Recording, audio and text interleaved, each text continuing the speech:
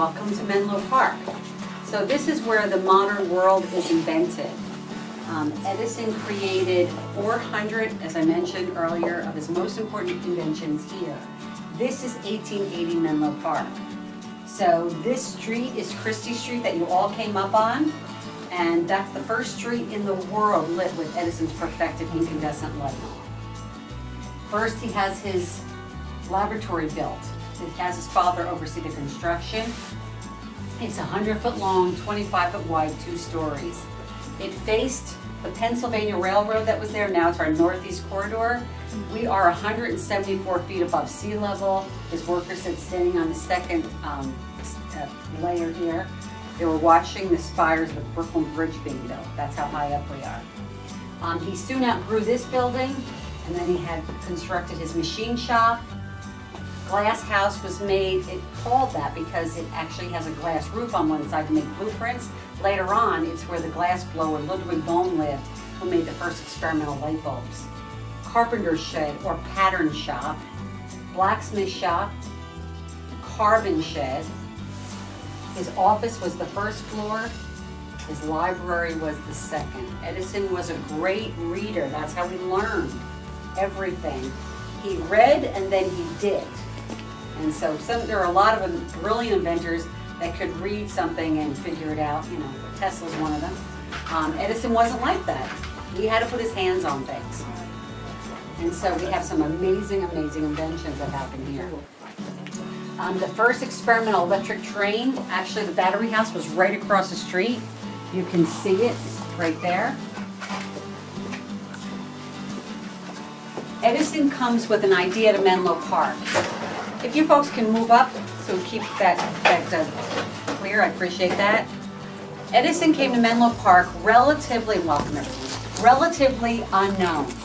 He had made two patents um, that made him kind of famous.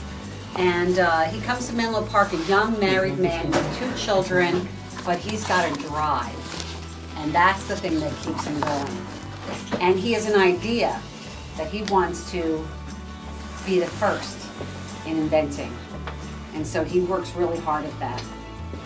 Um, Thomas Edison um, comes to Menlo Park in 1875 and buys about 35 acres of a failed housing development called Menlo Park.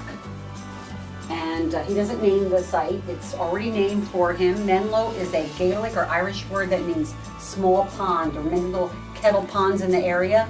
At the end of our trail, which if you have the uh, nerve to walk down in that icy snow, is uh, there's a pond at the end of it. We have 36 acres here today. We're a state park. So this is 1880 Menlo Park. And this is a very famous uh, drawing. It's a drawing, not a photo, done by one of Edison's uh, workers he hired later on to do advertisements. His name is Outcault. He'll actually develop the uh, term, well, his work will inspire the term yellow journalism because he creates uh, political cartoons that um, change people's way of thinking. And he'll be, a, he also develops uh, the character uh, Buster Brown's, I mean, you have to be a certain age to remember Buster Brown. Um, but he creates a lot of amazing things. I'm just wondering if we can open up a little bit, and if you folks can move a little bit forward, I'd like you to all see. Please come forward, you can see better. We have plenty of openings right here. No one's standing right here. Come on over, don't be shy. You wanted it open, yes. No, no, yeah, come on over. Yeah, there you go. Um, this is all about commemoration. Edison comes here in 1875. He doesn't move in until 1876. He's traveling to England. He's conducting research on a transatlantic cable.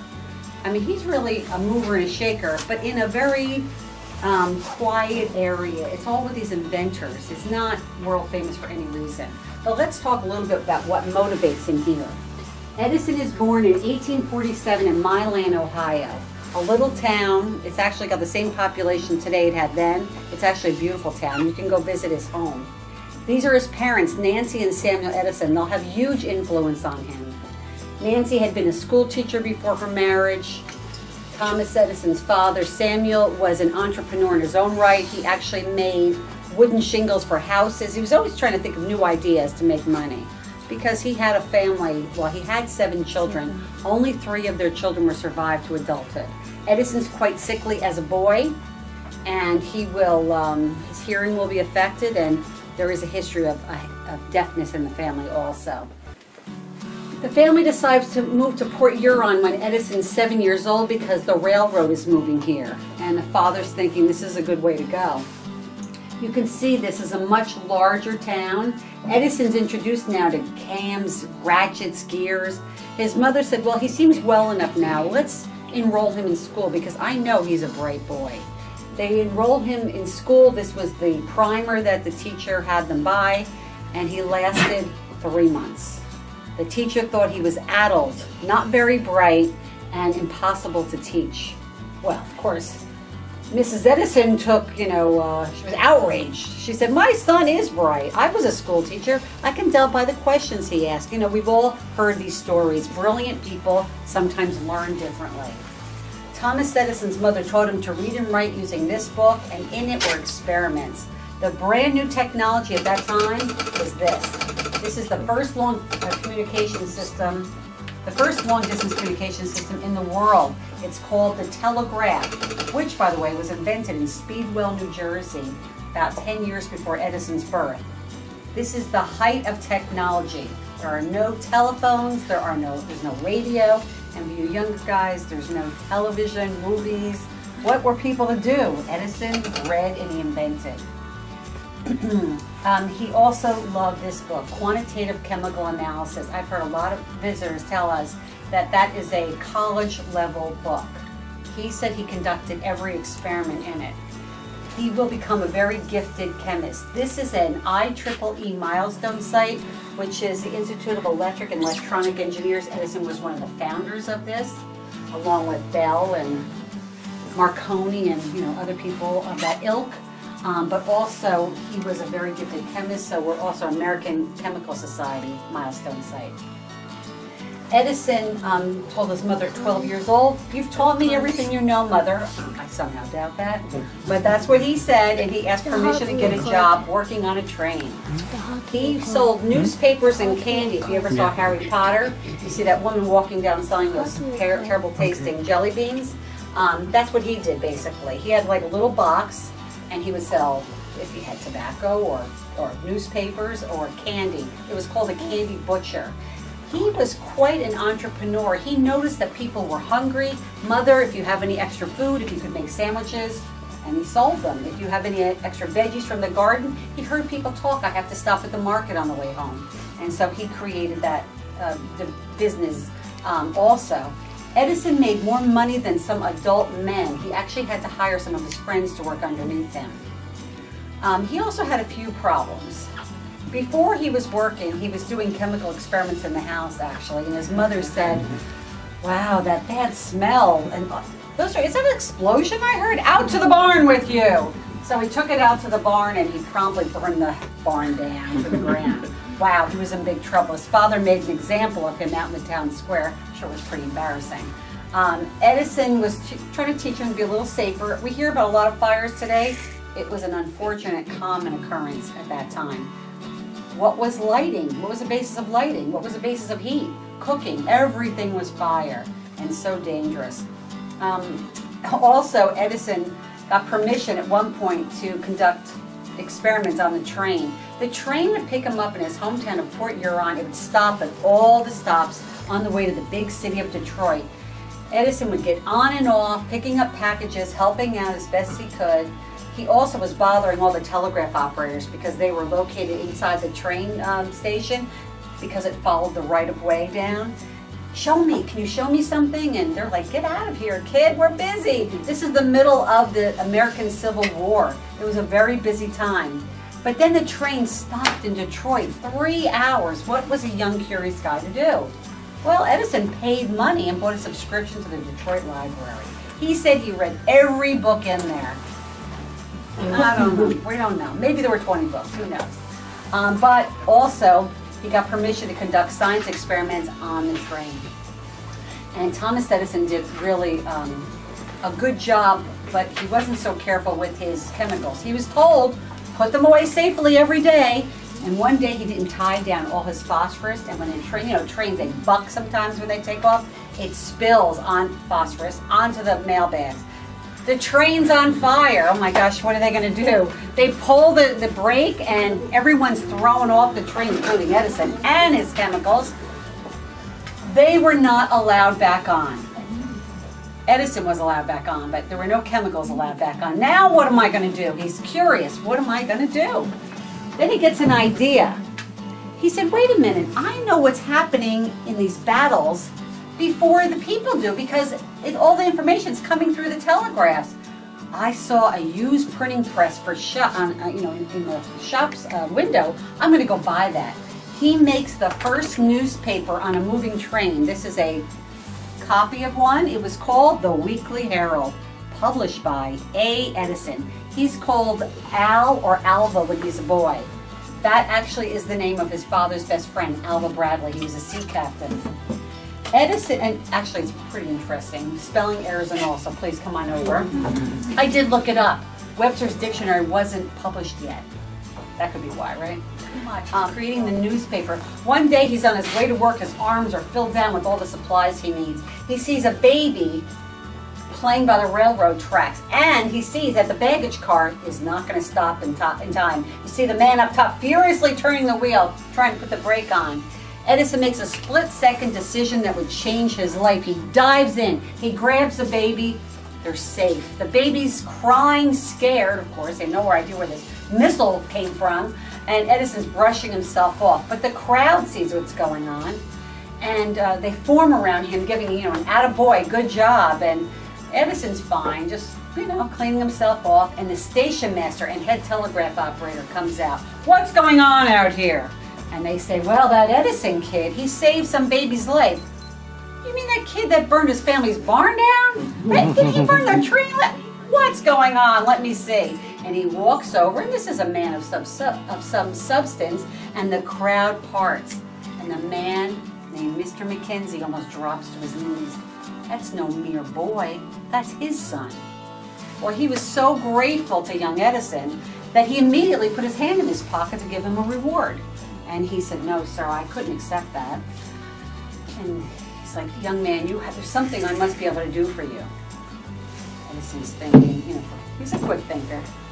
Well, you know, I've been wanting to learn more about the telegraph. Can you teach me some of the tricks? You know, I built my own. I built one for my neighbor. I memorized Morse code, but I don't understand all the in intricacies involved with it. Now it's Mr. McKenzie's turn to think for a moment. You know what? How about this? How old are you? I'm 15, sir. How about if I train you, apprentice you, but you'll have to move in with my family and I. Go home and get your parents' permission. And they agree. This will change Edison's life. Here he is, proudly wearing his telegraph uniform. Edison becomes an itinerant telegrapher traveling all around the United States, parts of Canada. He winds up at one point in Boston, which is a very tight and very well-established telegraph community. He works for Western Union, the largest employer in the world, during the nighttime. He likes to keep his days open so he can work on inventions, renting a little space in the Charles William Jr. shop. This is actually a very prominent spot also. They also have an IEEE milestone plaque. Edison is 21 years old and he's been making inventions all along, but never had the money to pay for the patent application. $15, that was a, a hefty sum at that time. Edison's telling his friends, I read something in a journal, and he's selling double transmitters, he's making all kinds of things. He read in a journal and it gave him an idea for this machine. It's called a vote recording machine. His idea, each member of the legislature in Massachusetts, that's where he's living, would have one in front of their desk. When the vote comes up, they can either press this button for yes, this button for no. It sends a signal along a, uh, um, a wire, dropping the chemical on a pre-treated piece of paper. Voting will be quick. He brings it to them, he shows it to them, does a demonstration, and they're like incredulous. Why would we want this machine? We need our voting to be slow. We need a filibuster. We need to discuss issues. Want to change their minds over there. I don't want to rush it. So some people later on in Edison's life will say, oh, your first patent, I'm so sorry, it was a failure. He was very upset about that. That was no failure. Do you know what I learned from this experience? Never grant again to create something that doesn't have a practical purpose. He said, I learned so much for this. You can't call that a failure. Edison not only has no money, he owes money. He finally gets a promise of a job in New York City. One of his friends works for a division of Western Union called the Gold and Stock Indicator Company, a friend named Franklin Pope. He had been a telegrapher also. Edison takes him too long, though, to get the steamship fare from Boston to New York. By the time he arrives, the job's filled. Pope feels bad, though. He said, look, you can sleep in the cot in the back room until you find employment. Edison is fascinated by this machine that Mr. Pope's in charge of. It's called a stock ticker. And it's really what's running New York City at that time because it's all about money.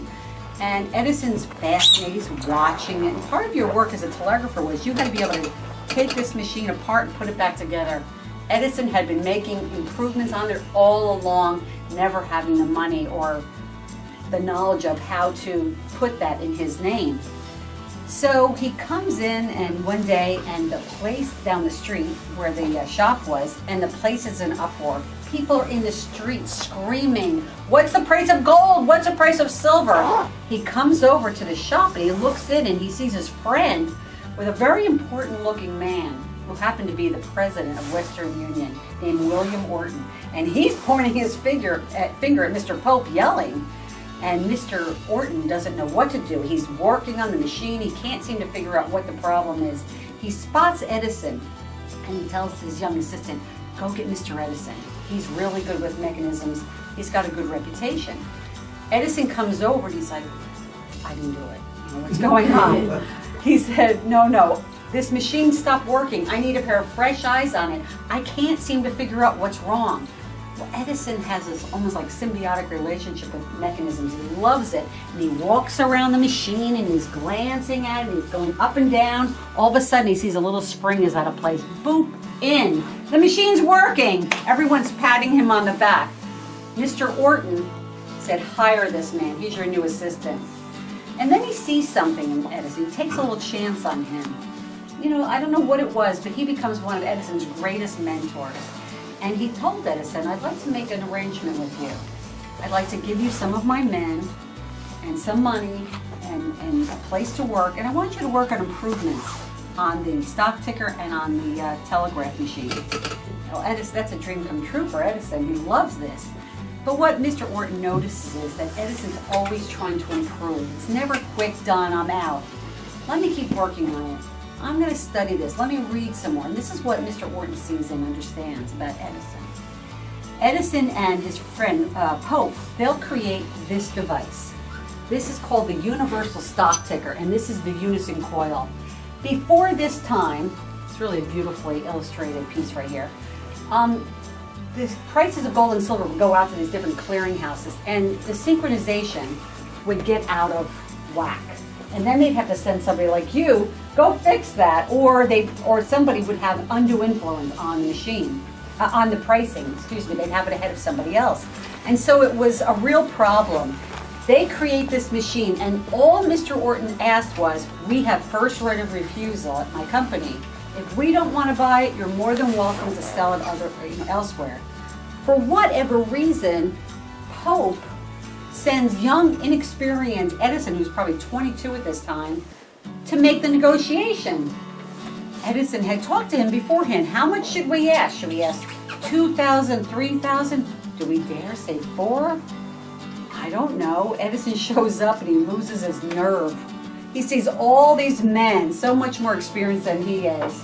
And he says, How much would you like to pay us for it? Never a good opening negotiation, of course. And they go and talk and they amongst themselves and they come back to him and they say, How does $40,000 sound? Hmm. well, it sounded pretty darn good to Edison. Now, $40,000 then is like three quarters to a million dollars today. Edison couldn't believe their luck. He signs on the dotted line and then he's feeling a little bad afterwards, or sometimes I wonder, was he bragging a little bit?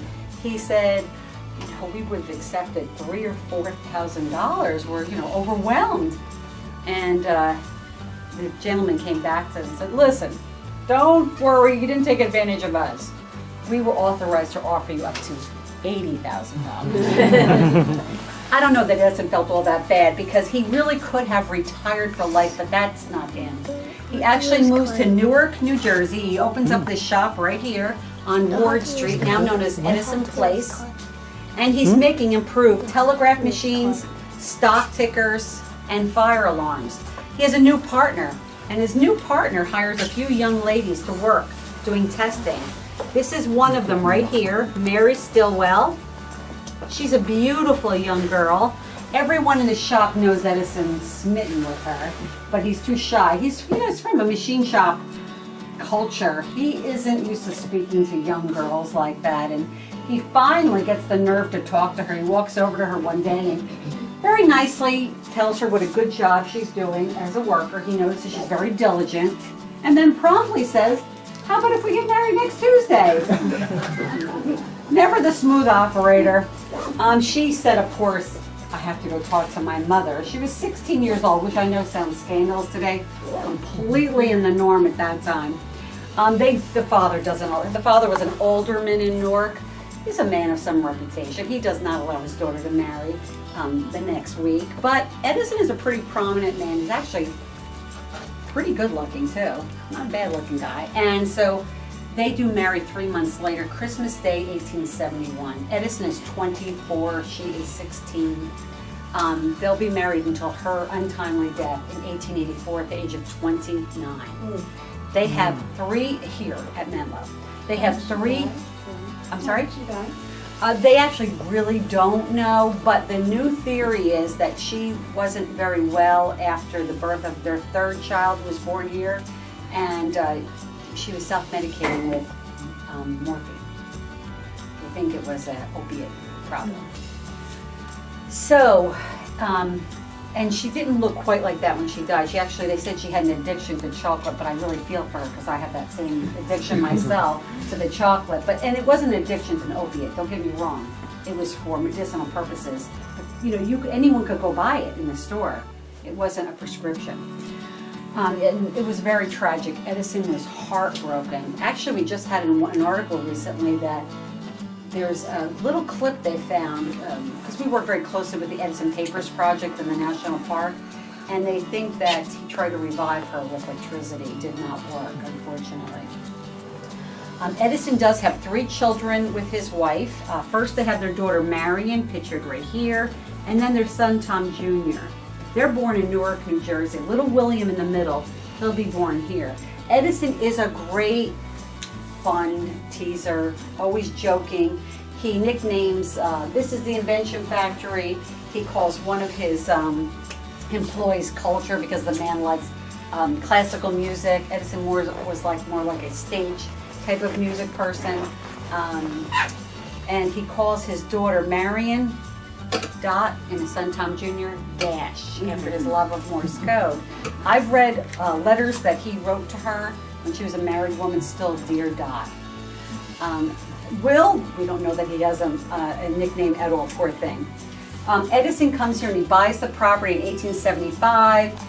He comes back from England. Right before he left, though, he had created this invention in his Newark office called a quadruplex. Now you can send four messages over one line. Got another $40,000 for that. He promptly spent that on building this and filling it with everything he thought he, needed. And he saw these amazing electrical test instruments over in Europe. He was conducting research on the printing telegraph with a cable that ran underneath the ocean all the way over to England. Not successful, by the way. There was a resistance problem, which he'll later on use to a positive effect in another invention. This is called a, a resistance tester. It was used here at Menlo. It measures the resistance of different metals on the side, there's platinum, aluminum, tin, uh, lead, silver, and they're all listed. You're more than welcome to come over and look at it. This is called a galvanometer. It measures electric current. Now, when, before we go in the back, I'm going to um, take a little time so those of you who are in the back can come up. And you're more than welcome to take photos. We do ask, though, that you don't use flash, but photos are welcome. Edison comes back from England. He moves his wife and two children into this lovely home, which actually had running water, very unusual. Um, of course, gravity was helping because it was at the end of the street on the left. Um, it was right where, just I'm going to point right above your head, where this tablet is today. That's Edison at the um, induction of that tablet in 1925. He's 29 years old. As I mentioned, relatively unknown. Change places with you. He is the most famous man in the world in 1877 because he invents the phonograph. This is his height without shoes on. This is very popular selfie spot, I'm just saying. And uh, this is his original eyepiece, his jeweler's loupe. So we like to think there's a little Edison DNA in there. Who knows what we could do with that in the future? Um, this is actually a really beautiful poem. If you could take a few moments to look at it gives you a little perspective of how people thought so deeply about him.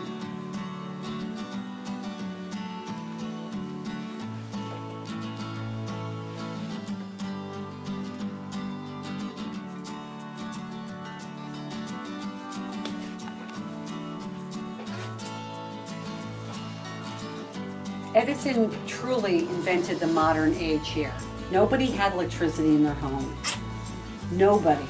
He creates the electrical distribution system. Every system after that will be based on his system.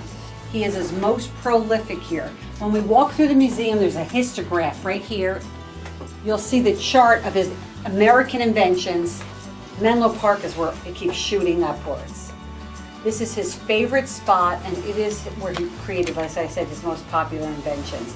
We're going to go and go back into Menlo Park in the back room, and I'm going to play the 117-year-old phonographs. We'll talk about the machine shop, the work he does on generators and batteries, uh, and know that this is the birthplace of modern research and development, and they're still studying today. How could he be so productive? And no, he didn't hire really brilliant people and put his name on their inventions. That's just not how it worked. And if you read the biographies of his employees, you'll see that. Any questions? Please, let's go.